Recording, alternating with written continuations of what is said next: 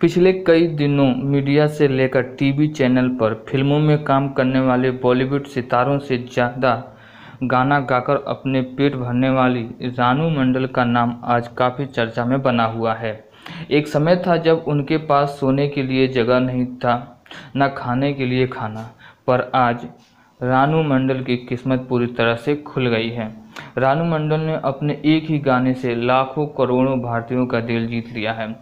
रानू ने हाल ही में हिमेश रेशमिया की फ़िल्म के लिए गाना रिकॉर्ड किया है, जिसे गाने ने रानू मंडल को अर्श से फर्श पर पहुँचा दिया है, जिसका पहला गाना तेरी मेरी कहानी इंटरनेट की दुनिया में कई दिनों से लगातार वायरल हो रहा है।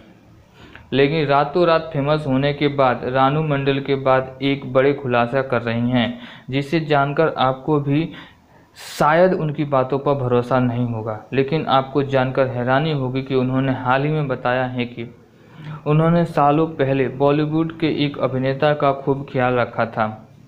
दरअसल उसका नाम फरदीन खान है, जो सुपरस्टार फिरोज के बेटे के साथ साथ बॉलीवुड अभिनेता भी रह चुके हैं। उन्होंने बताया कि वह फिरोज के बेंगलुरु स्थित घर साफ़ सफ़ाई और खाने बनाने का काम करती थी।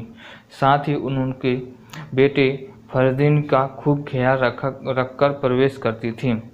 जिसकी सुरीली आवाज़ और उनका मायूस चेहरा देखते ही करोड़ों लोग रानू मंडल के दीवाने बन रहे हैं, जिसे लोग खूब प्यार दे रहे हैं। साथ ही, खबर है कि हिमेश ने उनकी अपनी इस आवाज़ देने के लिए तगड़ी फ़ीस भी दी है।